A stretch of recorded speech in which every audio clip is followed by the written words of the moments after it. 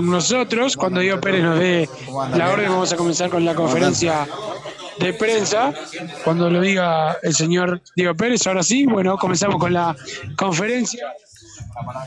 Diego, eh, eh, para, Deportiva. Bueno, ¿cuál es el primer análisis de, este partido que, que tuvo Peñarol con intenciones, pero que no se le dio?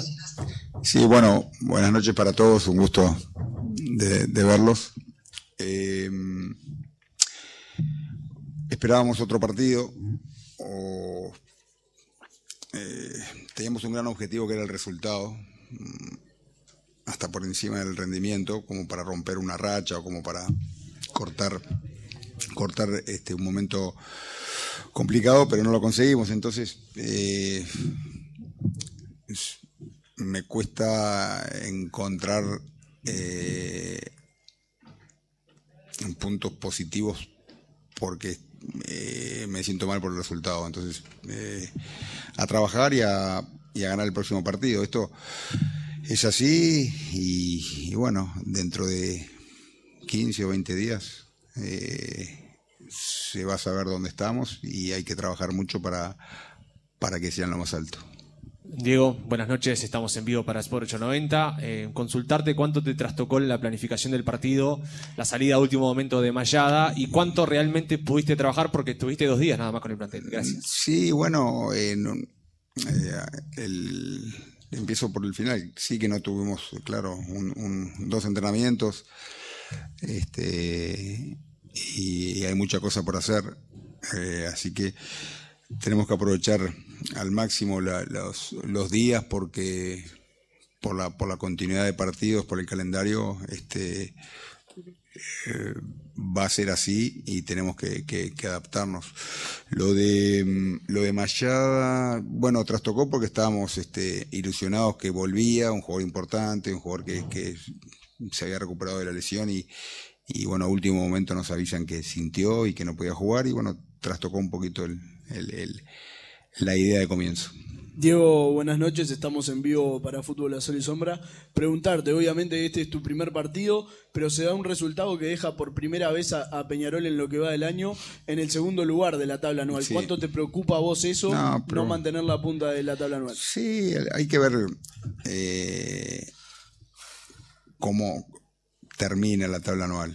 Este, es verdad que dejamos dos puntos muy importantes, este, pero, pero bueno, hay que intentar recuperarla y, prepararnos este, para tratar de, ganar esa tabla y, a su vez este, eh, prepararnos también mucho para, para, para alguna posible final. Diego, buenas noches.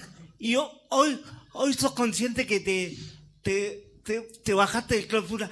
¿Cómo, cómo se, se apunta de lo anímico para levantar este cuadro que está liquidado emocionalmente. ¿Cómo se hace ese trabajo? Saludos. ¿Cómo estás? Bien.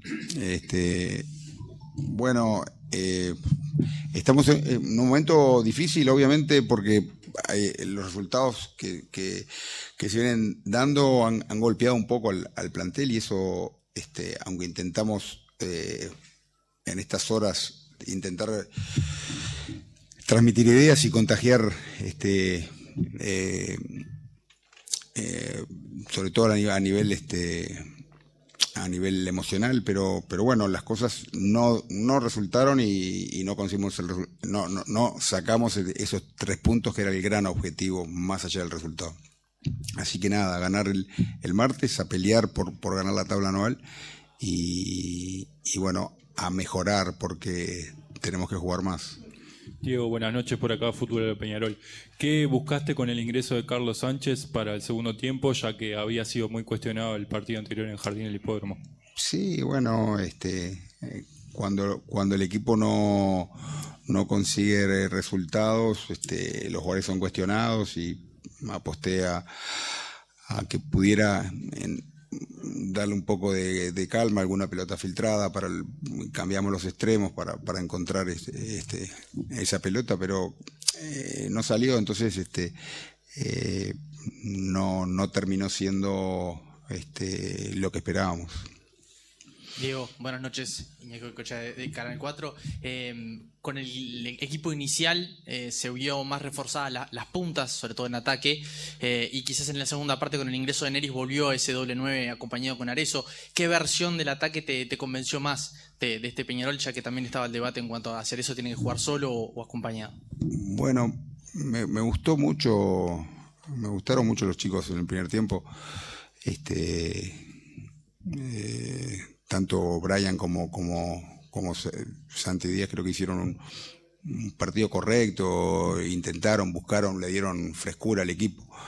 Eh, y después buscamos alguna alternativa por el desgaste y para encontrar eh, alguna fórmula diferente para, para, generar alguna situación de gol este, que, que, no la terminamos concretando, pero básicamente por ahí, pero este, hay que eh, trabajar mucho, hay que eh, estar, estar juntos, eh, que el grupo no, no, sienta que no, le afecte esta continuidad de resultados y, revertir como, como Peñarol está acostumbrado y tenemos que, que pensar así y siento que está todo al alcance de la mano. Diego, buenas noches por acá. Manuel para 13 a 0. Quería consultarte, porque recién hablaba del poco tiempo de trabajo que, tuviste, ¿en qué te gustaría enfocarte o dónde querés hacer foco en los próximos días para el partido que se le viene a Peñarol? Y en todo un poco.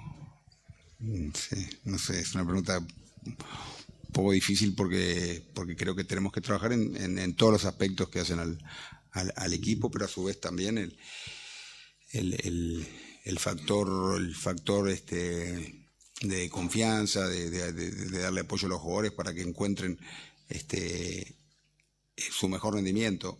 Eh, lo que pasa es que una cosa va con la otra, el resultado ayuda mucho para, para, bueno, para romper una racha o, una situación complicada. Eh, nosotros en realidad tenemos un gran objetivo que a partir de hoy que pasa a ser ganar el próximo juego, como lo era hoy, no lo conseguimos. Bueno, cada partido se hace más importante porque, porque los tiempos se, acortan y, las oportunidades este, sí o sí tenemos que, aprovecharlas. Este, pero el foco es ganar el próximo partido, no, puede ser otro en este momento. Por acá, Valentín Puntiliano para Fútbol Club. Tenéis pocos días de trabajo, llegaste a una instancia final de campeonato, hay fechas entre semana. ¿Qué tanto te influye a vos, Diego, como entrenador eso? ¿Y tenés alguna idea de los contratos que vencen, cuál renovar y cuál no? Sí, pero no, es momento ahora de, pensar en eso porque tenemos esto inmediato que son dos semanas de, de donde tenemos que, estar metidos, que es en, tratar de ganar el campeonato, tratar de salir campeones. Y mm, después ya va a haber tiempo para el tema eh, contratos y, todas esas cosas. Gracias, Diego. Dale, muchas gracias. Muchas gracias. El técnico de Peñarol en su debut en el campeón del siglo, el aurinegro perdió la punta de la tabla anual. Mañana entrena el equipo aurinegro que queda concentrado en la jornada de hoy. Gracias, Wilson. Yo lo que te decía, Oscar, es eh,